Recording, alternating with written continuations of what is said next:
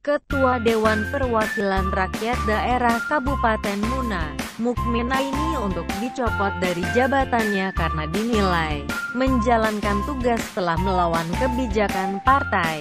Hal ini dibenarkan oleh Sekretaris DPC PAN Kabupaten Muna, Lukman Rahman. Kalau pihaknya sudah mengkonsolidasikan ke partai terkait pergantian Ketua DPR Muna.